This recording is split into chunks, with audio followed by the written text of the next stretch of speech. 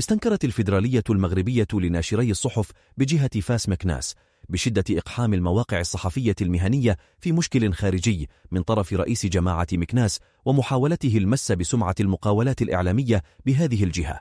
جاء ذلك على إثر بيان لجماعة مكناس يستنكر فيه التشهير الذي تعرض له عامل مكناس من طرف موقع إلكتروني يصدر من خارج الوطن يشهر بشخص العامل ويشكك في مهنيته.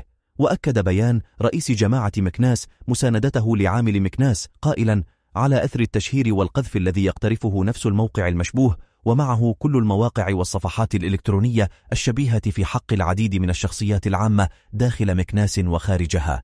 مشيرا نفس البيان إلى أن رئيس الجماعة لن يقف صامتا أمام هذه البلطجة الإعلامية الجديدة التي تعتمد الابتزاز والمساومة في أفق فضح الدوافع الخفية لهذه الشرذمة.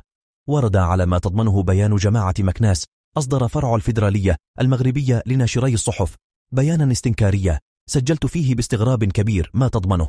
البيان التضامني والاستنكاري الذي صدر عن رئيس جماعة مكناس بتاريخ 24 شهر غشت من السنة الجارية من مغالطات وقذف في حق المقاولات الصحفية المهنية وخلط المفاهيم بين الموقع الإلكتروني والصفحة ووسائط التواصل الاجتماعي الأخرى. وأصف المسمى هشام جبراندو المعارض الوهمي الذي جندته الاستخبارات الأجنبية للضرب في مصالح المغرب والمس برموزها والتشهير بشخصيات عمومية.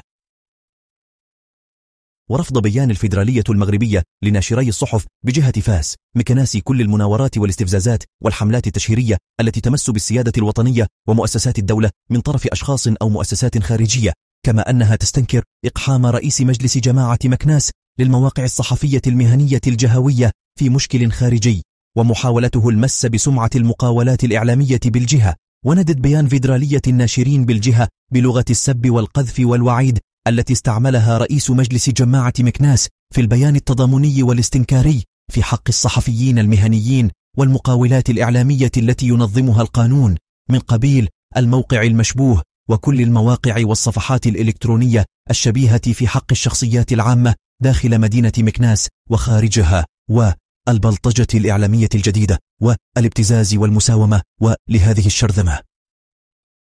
وشجب بيان الفيدرالية كل المغالطات التي تضمنها بيان الرئيس جواد باحجي في حق الصحفيين ومهنة الصحافة المؤطرة دستوريا بالفصل 28 والتي تعتبر من بين الاختيارات الهامة بالنسبة لمستقبل المجتمع المغربي باعتبارها وسيلة مهيكلة للديمقراطية وللجهوية المتقدمة.